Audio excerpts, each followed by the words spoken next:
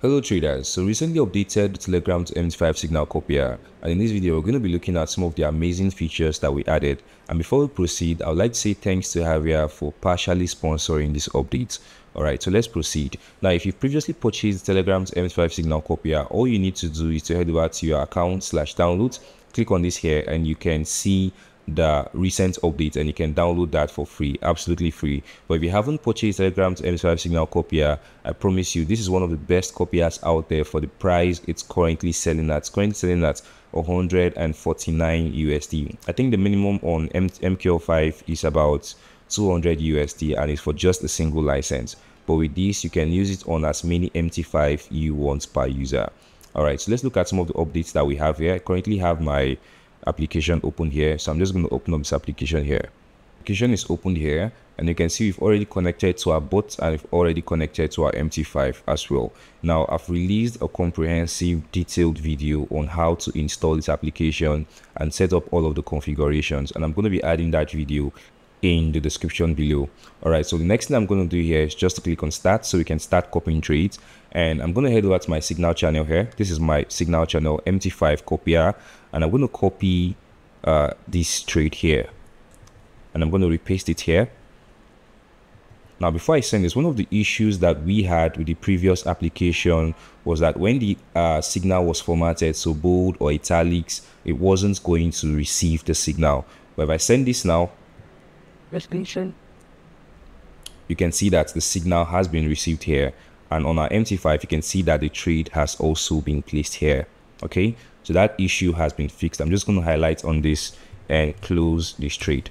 Okay? So now the next thing that we also added here is manual lots. Okay? So if i head over to my application here and head over to the settings here to configure this what you need to do is to scroll down to the risk management customization right? So if you notice here when i sent this previous trade here it used a risk of five percent and the mt5 defaulted to 0.01 lots. If we head over to application here and head over to our home page here you can see that the lot size used uh, let's see if we can head over to the statistics here. You can see the volume used here was 0.01 so we've encountered these issues on some brokers maybe due to your broker's uh, contract sizing uh, the lot size defaults to 0.01 and is not able to calculate the risks when you're trading assets like uh, let's say the SPX 500 or the US 400 or uh, BTC USD or Ethereum USD and you would like to enable manual lots. Head over to the settings here all you need to do is to head over to the risk management section.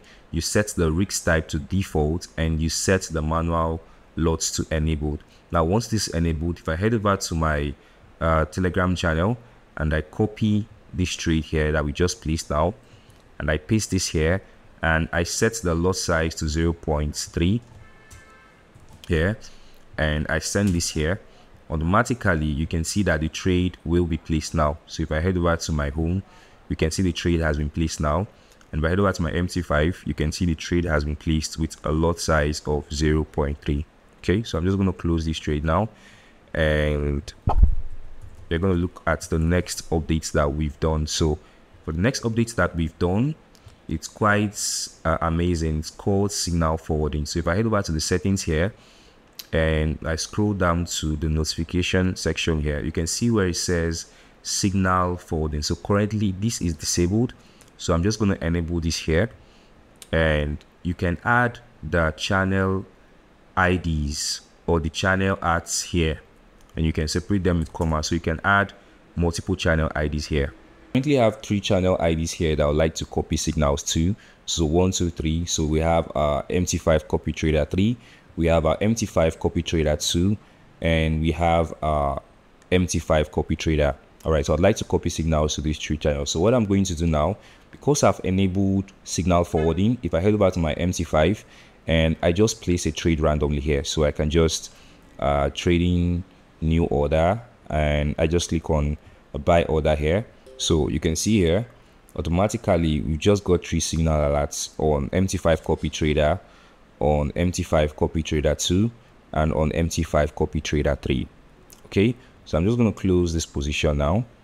Click on view click.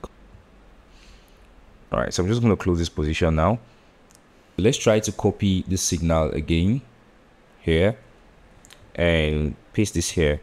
Also see that the signal now supports various type of take profit. So we have take profit here or tp we also have sl here or stop loss. So if you just click on send now you can see that it has now placed the trade here and it has also sent multiple signals to other groups. So we have group 2 here and channel 3 all right so if you would like to forward signals to other channels uh, once you place the trade on your account automatically you can now use signal forwarding.